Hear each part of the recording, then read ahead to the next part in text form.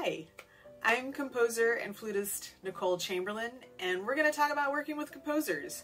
I'm a composer, but I'm also a flutist. Like, I kept that side of my musicianship uh, up as a professional, so I do still work uh, as a hired flutist. I have played in numerous new music ensembles, and uh, I've worked as a composer, as a com- commissioned composer.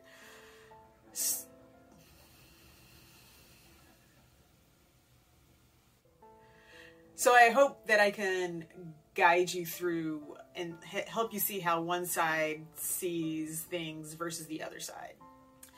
Okay, we're going to be talking mainly from a composer perspective, um, and this is going to be more targeted towards performers, but I think composers can get something out of this as well. Um, you know, as composers, we get a bad rap as being uh, eccentric hermits, and I think the comment I get a lot of the time is that uh, from performers when we meet is that I seem so normal, whatever that means. um, and I, I, think what they mean is that since I'm an instrumentalist, I can kind of, or a uh, performer, I can kind of see where they're coming from. Um, and I take that uh, moving forward. But as composers, we still have to collaborate with others to make it happen unless you're working with synthesized uh, or electronic music. You still need live humans. And so let's try to navigate the whole collaboration story, whether you're commissioning or you know, you should be involved with a composer even if you're playing pre-existing music. Um, so some things to think about. Uh, communication is going to be the common thread throughout this conversation or this monologue. um, being open, honest, what you know, what you don't know. Um, that will keep things a little more friendly. Uh, let's talk about contacting uh, a composer. It's important to contact a living composer when you want to commission them, when you want to let them know you're performing their piece, um, or if you just you have questions and you need some feedback. Uh, that's what's so great about a living composer is if there's question or if there's discrepancies uh, amongst recordings or performances, you can just go straight to the source and say, what do you prefer? What is correct? What was in your vision? Uh, and that can be very, very helpful.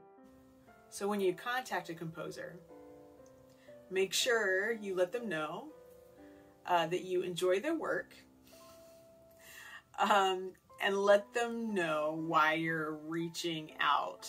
Um, a little caveat if you're looking to add a composer to your program and the reason is because of their gender or race, that should not be the only reason, and we don't like to hear that's the reason. So I get contacted sometimes like, oh, we have a women's composers conference uh, or a women's composers program, and since you're a woman, we want to put a piece of yours on. Maybe maybe open with you really love my music. You think the audience would enjoy it. Would it be something you'd be interested in to be added onto our women's composers program? That's that's the kind of thing. I mean i think everybody wants to be included because of their talent not because of their human makeup uh, so it's just something to consider is my one little, I guess that's my salty response there. Uh, you know, don't put me on your program if you just want me there because I'm a woman. Hopefully my music has value to you. So reaching out to a composer, letting them know you enjoy their music should already already grease the wheels a little bit and get a good response because every composer wants to know that their piece has value, their music has value, and that they're being heard. Um, and opening with that is is going to help uh, lessen some pushback, especially if you're proposing some really wild uh, suggestions or requests. If you have some requests, we've all been there, right? You love a piece of music, you love a composer, you have a program that has a theme or time limitations or a certain instrumentation and you're trying to get that piece on the program. Well, changing instrumentation, making edits to a piece, um, chopping it down, uh, eliminating extended techniques because maybe there's limitations in the ensemble, or doing them differently without asking a composer if that's okay. That's that's actually all those things are actually illegal. Um, so what you're doing is rearranging a composer's piece, and and you didn't get permission. So arranging permissions still lie with the composer, and I believe there's probably some funny business with the publisher as well that you have to go through. Um, so those are those are things to consider. And if you tell, like, if you just send a composer um, a recording and the instrumentation is different, uh, you'll probably get a nasty reply. If you um at the very least you'll get one that's like why would you do that? Please don't do that. I mean and the reason the other reason is why someone would be fussy about that is you got to understand that the audience doesn't know that composer didn't make that choice and so if there's some choices made that a composer wouldn't do you're misrepresenting the composer um, and so it's kind of like if someone used your headshot or your photos without your permission for a campaign or movement or anything that you did not agree with. Um, it's the same idea. But you should let a composer know if you if you're going to perform a piece of theirs. I like to know if it's nearby and I can go, I will go. Um, or if I might be in town, I would go. Um, so just because it's been performed or premiered doesn't mean a composer wouldn't be interested. Some of the higher up composers that are super busy may not be able to go, but there's, I mean, it's still lovely to hear that someone's playing your music and it's having a life. Um, the other thing is send a, a, program to that composer so they can submit it to their performance royalties organization like ASCAP or BMI or what have you, and uh, hopefully get that reported so they can get a little royalties um, at the end of, of, of, everything that they can get paid out by their uh, performance organization um, to give them a little money. And so that's helpful as well. So if you want to support your composers, buy their piece legally. Do not borrow copies from a friend. Like, go buy it. Um, and let them know your, their music is being performed and commission them. Those are the three ways you can help a composer uh, financially, even if you're not actually physically giving them the money. Also, know they are not making a lot of money if their music is published by someone else. So, for example, a publisher actually can take from 80 to 90% of the sales. So, a composer makes very little if they have a publisher. There is, I think Sheet Music Plus does 50%, but that's pretty rare. It's usually pretty high that the publisher takes a cut. So just be considerate of that um, and, and, and recognize the composer is getting very little. If they self-publish, then it's 100%. And that's nice, and that's another video. So sometimes maybe you have uh, sent an email or contacted a composer and you've gotten a salty response.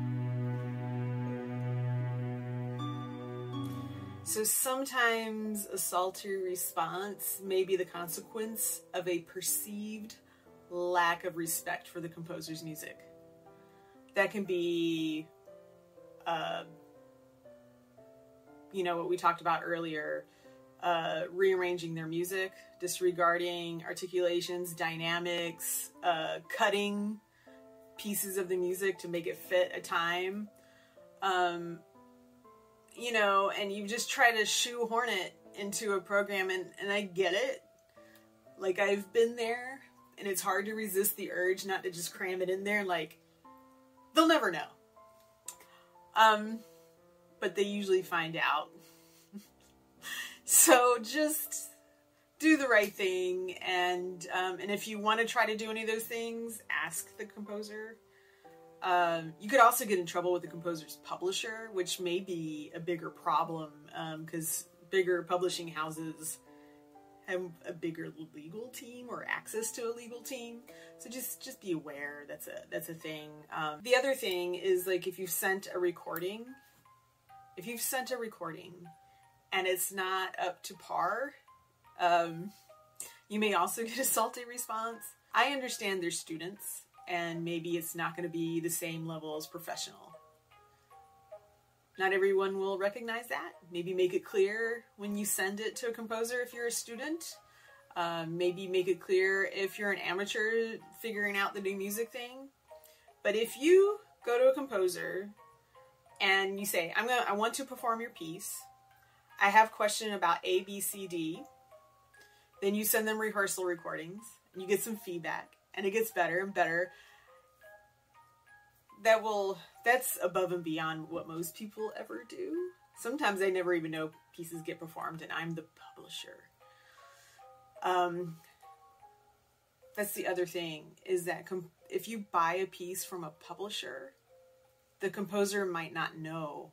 The publisher uh, just gets paid, and then they'll pay the composer either quarterly or yearly or whatever their contract is. And so a composer may not know who or what performed their piece until maybe like ASCAP comes out with their yearly report, which sometimes can be two or three years behind. Um, so um, get the composer on your team, especially if they're like me, where it's just a one person operation. Um, I can help promote it on social media or on my website or show up or tell my friends or, or, or those kind of things. But communication is just so key. If you're open and honest about things, that'll be incredibly helpful and start a new collaboration. Now, if you've done all these things and you sent what you feel is a really good recording and you still get a salty response, oof. I mean, be thankful you didn't collaborate more with that person because that's just a personality flaw. And uh, there's far many other composers that would love to work with you. And if you do all these things and you you'll you'll just you'll just have a friend for life for from a composer if you're just very involved in their music and promoting it, performing it to the best of uh, your ability, which is hopefully performing everything that's on the page and maybe even more if you have a conversation with the composer um, you can get a special unique insight that maybe someone else hasn't in the past and sometimes composers will put recordings on their website because it's the only live recording they have. It's not always what they would hope for, especially if you only see like excerpts. Um, so if you come across with a better recording, oh my god, they will love you forever. Um, so just reach out if you see a discrepancy between the score and the recording on the composer's website. That's even a more reason to like reach out. They may give you some more insight about why things weren't executed they the way they were in short, just being honest and open about your intentions and what you don't know will help uh, everyone in the long run. Uh, the fact that you love a composer's music, uh, and honestly, you want to do the right thing, a composer will work through with you. Um, we do, I mean, I understand that not everyone knows how to do the thing, and um, if I can look at things if it comes across as like, whoa, this person just played everything incorrectly, what's happening here, um, and use it as a teaching moment, you can usually get through to a musician. Now, as far as as commissioning, again, just when you when you commission a composer, you are trying to create new music that's suited for you. So you need to communicate and be honest with the composer about why you need the music, what the instrumentation should be, be really honest about your playing abilities, maybe send some recordings of things you performed well, and then just have an open dialogue about, especially if it's a composer that doesn't play your instrument, have an open dialogue about the things that are in your wheelhouse and aren't. So for me, for example, I do a lot of extended techniques. But there's some people, like, for example, flutter tonguing isn't something they're comfortable with. And I won't put it in if that's not something you do well or want to investigate doing more of. Um, I want the piece to be performed really well. So I'm not going to do things to, like, sabotage your performance. Uh, and if you get a piece from a composer and things are just you you'll never get it prepared in time for the concert, be honest with that composer and see if there's anything they can do to make a passage uh, playable for you like and just be really specific. Like this run is difficult because these fingers move this way. Like on flute for example if i got something from a composer that was like i want you to trill from low b to d flat or c sharp like there's a key in the middle. That's it's not impossible but it ain't gonna be good. Um and so just just the composer might be unaware especially if it's not their instrument or it could be a mistake. Like i've written things where i'm like all right b to c sharp trill. And i just didn't take the key into consideration. I just saw b to c. Even though that's pretty sneaky i probably wouldn't do that either. Um, it could be just an honest mistake an oversight um, and that's where collaboration comes in hand. So you know if you want to work with a composer, be open, be honest, uh, be aware of how manipulating or performing their music can be perceived as lack of respect or that you didn't care um, or that you did know and it was a violation of something legal uh, just just be just communicate um, if you have questions please let me know. Uh, if you're playing a piece of mine, I want to know. I'll put on my website. Um, if it's streamed, I will do my best to be there streamed. If it's in Atlanta, I will try to be my best. I will be, I'll try my best to be in the seat. Uh, that is the biggest payoff for a composer is to hear your music performed well. Um, and that's the key well. so do your best. Don't buy a piece of music that's really hard and then performing at the end of the day and put it out on the internet. I've had that happen too. Um, and then it just misrepresents everything. Like, ugh. Um, anyway, so if you have questions, let me know. If you're playing my music, let me know. Uh, if you want to commission me, ooh, yes, let's do it. Let me know. Um, and hopefully this video was helpful and not too meandering. um, but yeah, let's let's avoid those salty composers. Uh, but I do know that performers can be just as salty when their instrument is not studied well either. So it's a two-way street. Thank you for uh, listening all the way to the end. I hope uh, you found this video helpful and I hope you will listen to a few of my other videos about composers, composing, performing, whatever. Thanks. Bye.